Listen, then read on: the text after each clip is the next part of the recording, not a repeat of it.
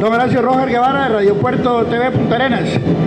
No hay duda, no se puede negar el gran trabajo que usted ha ido haciendo con este equipo, el esfuerzo que hemos visto en cada partido que ha jugado y que lo ha mantenido en los primeros lugares, sino en el primer del campeonato. ¿No será eso tal vez todo ese esfuerzo, toda esa entrega de los muchachos, que esa sobrecarga le está pasando la factura? No, porque si yo pienso así, eh, estaría desprestigiando a Punta Arenas su gane. Yo creo que Punta Arenas ganó bien. Si yo pienso que es por carga y por esfuerzo, yo estaría pensando que Punta Arenas no ganó bien. Yo creo que Punta Arenas ganó bien hoy.